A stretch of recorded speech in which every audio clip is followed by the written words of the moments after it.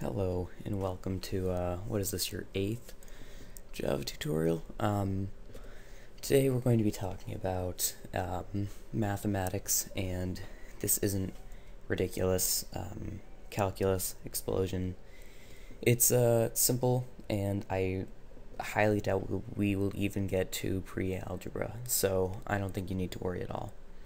Um, so the first thing we're going to do is we're going to declare some variables. Then we're going to compare those variables um, with uh, adding them, dividing them, subtracting them, uh, and many other uh, different comparisons. Um, but let's start by making a couple variables.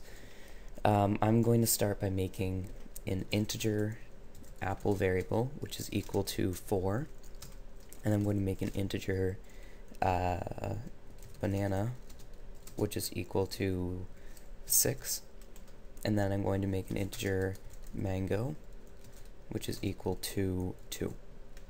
So now we have all of our variables declared, which are all integers, and they all have different values inside of them.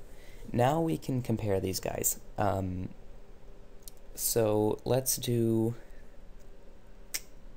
you know, let's declare another variable uh, named integer fruits. And we're going to set integer fruits equal to mango plus banana plus apple.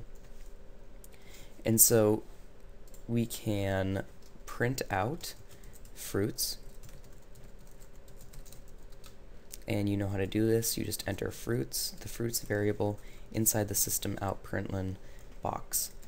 And what this will do is it'll print out the total um, adding of mango plus banana, banana plus apple. Um, so let's run this program. And you'll see that it prints out 12 because it added all of these together and the sum of all these guys was 12.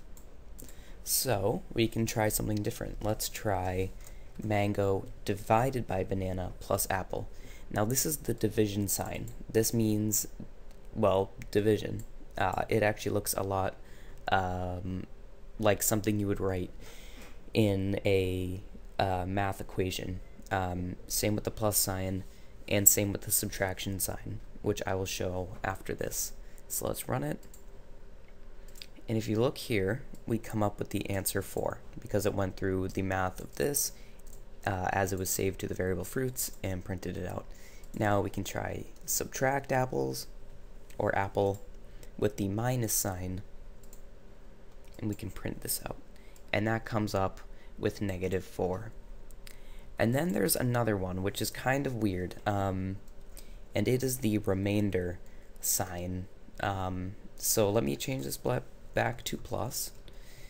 And there we go. Um, and we're going to add the remainder sign. And the remainder sign is the percent sign.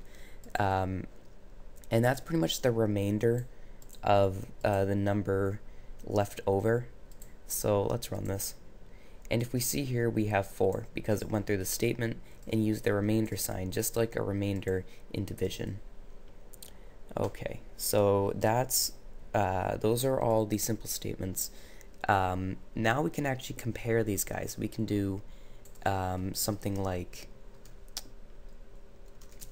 we can make an if statement and do if apple is greater than or equal to banana, do this. And we want it to, uh, let me just delete fruits really quickly because we don't have that variable anymore. Um, what we want it to do is print out there are more apples than bananas. And that's actually not always going to be true because we have um, if it is greater than or equal to. If it was this, it would always, this statement would always be correct. Although since it's this, this isn't that accurate. Um, but that's okay. And then we can do another if statement. Because we're lazy, we'll just copy this. And we can do, oops, let me just make it more organized. There we go.